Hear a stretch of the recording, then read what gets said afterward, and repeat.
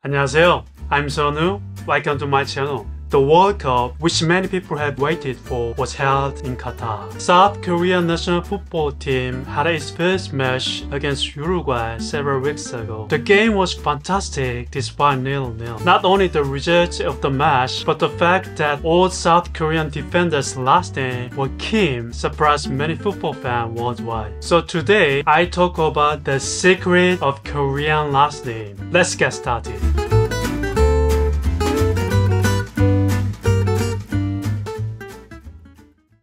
This is a famous Instagram channel about football called 433. After the match of South Korea against Uruguay in the Qatar World Cup, many people were surprised by all South Korean defenders' names were Kim. Someone said Kim passed the ball to Kim, and Kim, and Kim, and another Kim, and player of the match was Kim.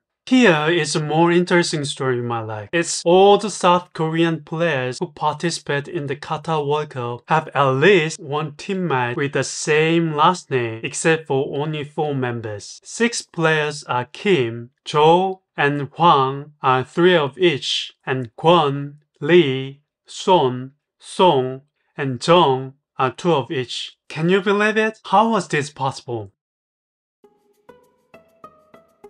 South Korea conducted a census in 2015. According to the survey, the most common surname in Korea is Kim, and Lee, my name, ranked second, and followed by Park, Choi, Jung, etc. Over 10 million people have the last name Kim. It's about 21% of South Korea's population. In other words, about 1 over 5 Koreans is Kim.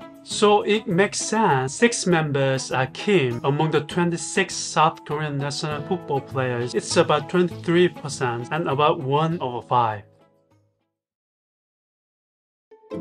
Even though they are all Kim, but not all the same. Korean surname is usually inherited according to their clans, from a father to his children. As of 2000 South Korean census, there are more than 300 Kim clans in Korea. The major Kim clan in Korea are Kimhae Kim clan, Gyeongju Kim clan, Gwangsan Kim clan, and Andong Kim clan, etc. The words like Kimhae, Gyeongju, Gwangsan, Andong are the names of a region in Korea where it which clan the founder came from. And it's called Bongwan in Korean. So in other words, there are more than 300 Kim's Bongwan in Korea. And I googled those Kim's Bongwan, the South Korean football players in the Qatar World Cup. Goalkeeper Kim Seung-gyu, center back Kim Min-jae are Useon Kim clan. Left back Kim Jin-soo, right back Kim Moon-hwan are Gwangsan Kim clan. Center back Kim Myung-kwon is Kimhae Kim clan. As you can see, they belong to different clans so even though they have the same last name, but not all the same. This is a common feature of all Korean surnames. So when Korean meets someone with the same last name, sometimes they ask each other which 본관 they are to identify whether from the same clan.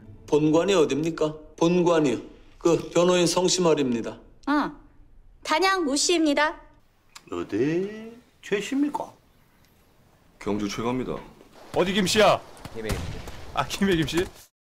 A little different from the main, but there's one more funny thing I want to tell you. Up until 2005, it was illegal for couples with the same family name and the same bongwan to get married. It was illegal, literally. For example, there's a man who has a family name Kim, and his bongwan is Kimhae, so he is Kimhae Kim clan. If his partner's family name and bongwan are the same as his, they couldn't get married before 2005. The law was introduced in the Joseon dynasty by claiming to prevent possible marriage between relatives but was repealed because there was no scientific basis.